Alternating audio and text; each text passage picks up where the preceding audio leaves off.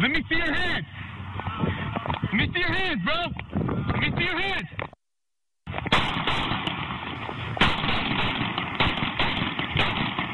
This is newly released video from a police chase in Albuquerque, New Mexico that happened back in October.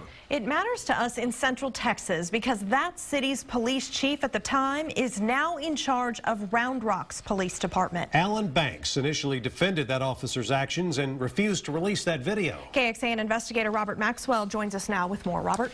Robert Shannon, at the time, while Allen Banks was filling in as police chief last fall, the Albuquerque Police Department was under a microscope. The Justice Department there was looking into dozens of police shootings and the department's use of force policies. But in an era where openness and transparency are watchwords for many public leaders, Interim Chief Banks appeared to be something else. In video from our NBC affiliate in New Mexico, listen as Banks at a news conference when he was asked last October if he would release that video that you just saw, something the former chief was known to do. Am I going to show what? No, I'm not. Now the chief of police for this department, and I have the way that I'm going to do things my way. Now fast forward six months and we are seeing that video for the first time because the investigation in New Mexico is wrapped up.